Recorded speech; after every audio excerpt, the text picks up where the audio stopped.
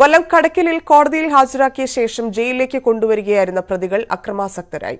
ബസ്സിൽ കൊണ്ടുവരുന്നതിനിടെയാണ് സംഭവം. പോലീസുകാരെയും യാത്രക്കാരെയും പ്രതികൾ മർദ്ദിച്ചു.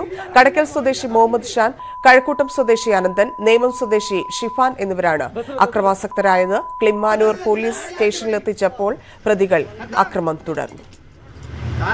പോവാനൊന്നും പറ്റൂല. ബുദ്ധിമുട്ടാണ്. വണ്ടി എടുത്താം.